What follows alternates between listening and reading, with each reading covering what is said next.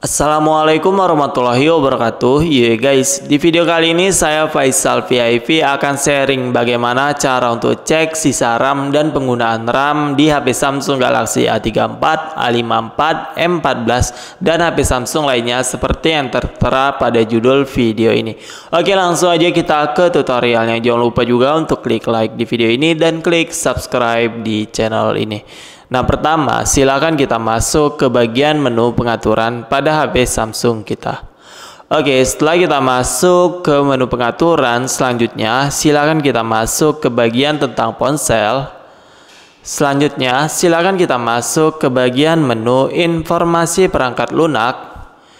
Nah, selanjutnya di bagian nomor versi ini kita ketuk sebanyak tujuh kali secara cepat seperti ini sampai muncul tulisan mode pengembang telah diaktifkan. Selanjutnya kita kembali, kita kembali.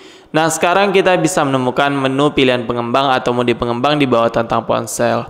Nah, jadi di menu ini kita bisa cek ya sisa RAM pada HP kita. Kita masuk ke bagian memori. Nah, di sini kita bisa memilih interval waktunya. Saya akan menggunakan satu hari aja.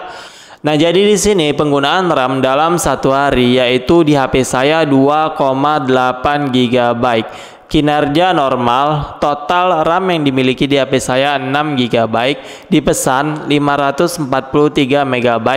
Nah, di sini penggunaan rata-ratanya 50%, tersedia 2,7 GB. Nah, tersedia ini yang bebas ya, guys.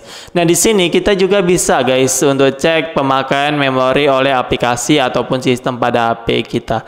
Nah, di HP saya ini dia SO Android ya, sistem operasi Android yang menggunakan RAM paling besar. Nah, karena di HP saya ini belum saya install aplikasi game-game maupun aplikasi media sosial saya karena ini hanya HP untuk review atau tutorial YouTube aja. Jadi di sini penggunaan memorinya tidak tidak banyak guys daftarnya. Jika di HP kalian banyak aplikasi-aplikasi pribadi kalian, nanti maka dia akan tampil di sini daftarnya, diurutkan dari yang paling besar sampai dengan yang paling kecil.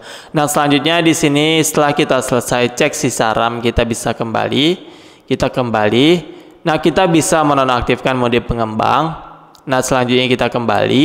Karena kita sudah menonaktifkan mode pengembangnya, maka menu mode pengembang di bawah tentang ponsel sudah kembali tersembunyi.